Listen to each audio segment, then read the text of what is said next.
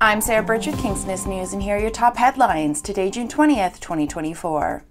On the morning of Wednesday, June 19th, healthcare professionals from Kingston Health Sciences Center had reason to smile thanks to the presentation of a check for $177,413 from the Tim Hortons Smile Cookie campaign. The money will support child and youth mental health programs at KHSC.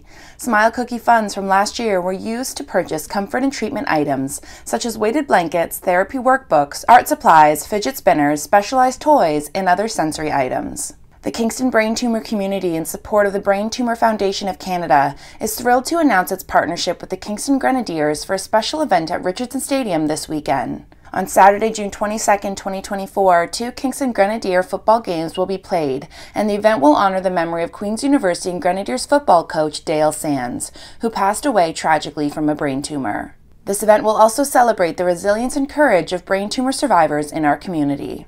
Kingston Police closed a section of Princess Street yesterday at 2 p.m. from Portsmouth Avenue to Sir John A. Macdonald Boulevard after a serious motor vehicle collision involving a pedestrian.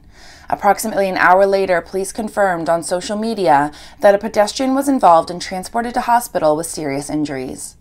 On Tuesday, June 18, 2024, the Algonquin and Lakeshore Catholic District School Board welcomed local representatives to J.J. O'Neill Catholic School to acknowledge and celebrate the groundbreaking at the new school site located at 240 Maryland Avenue in Napanee.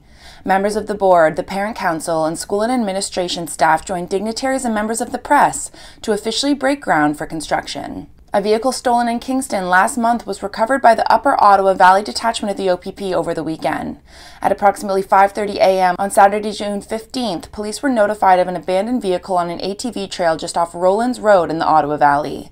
Patrol officers attended and located the stolen vehicle, which was a black Ford pickup. Anyone with information regarding this incident is asked to contact the Upper Ottawa Valley Detachment of the OPP at 613 735 0188. On Tuesday, June 18, 2024, Kingston City Council received a report on the possible nighttime whistle cessation for trains, which was debated intensely and then carried on down the line. The report, which can be read full on the City of Kingston website, explains that while a few areas throughout the city meet the requirements for a whistle cessation, some of those are only in one direction. For more on this story and other local news, visit kingstonist.com and subscribe. Use my code SarahB2024 for 10% off.